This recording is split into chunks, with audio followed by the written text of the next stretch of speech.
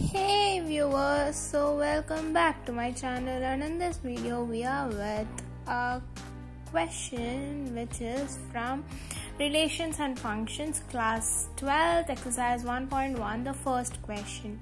So here they have given uh, the set A which has elements 1 to 14 and they have given the set R where x comma y and uh, 3x minus y is equal to 0 so we have to prove if it is reflexive symmetric and transitive.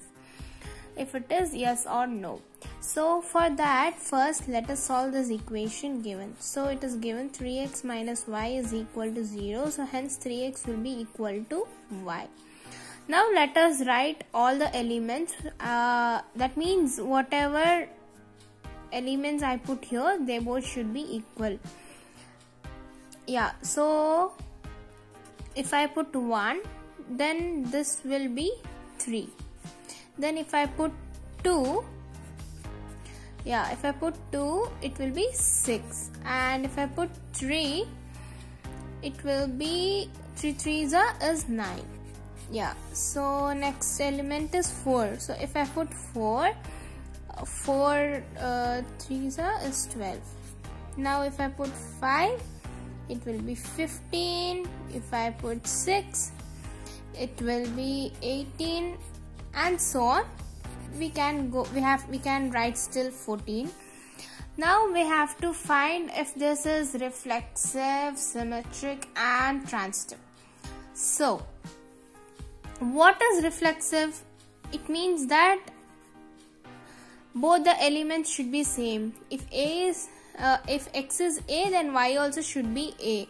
There is any element where x is a and y is a. Okay uh, what do you observe here?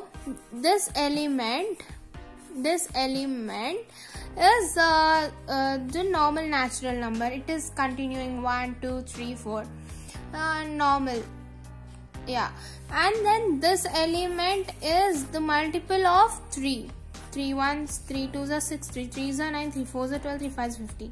So it keeps on going. So one element is also not equal. I mean uh, A is not equal to A. So hence it is not reflexive we can take an example like if you have 1 as first element is 1 so there should be another element 1 so there is no element 1 comma 1 so hence 1 comma 1 does not belongs to R. Now the next thing is symmetric.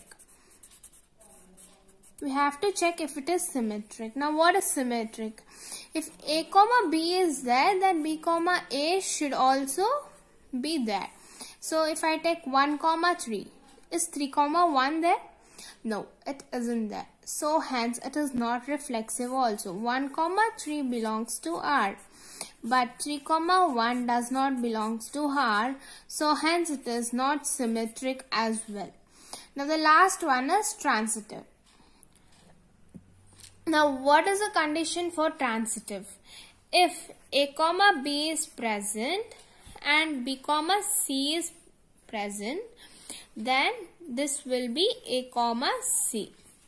So let us take the example 1 comma 3 and 3 comma 9 so hence it will be 1 comma 9 is 1 comma 1 sorry 1 comma 9 present in this? No.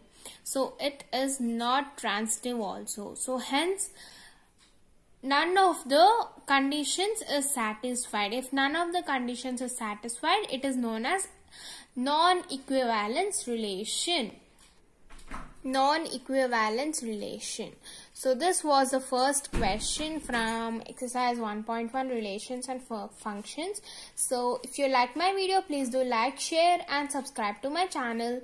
Stay tuned for more videos like this and I will be uploading all the concepts as well as exercises with examples. So stay tuned. Thank you.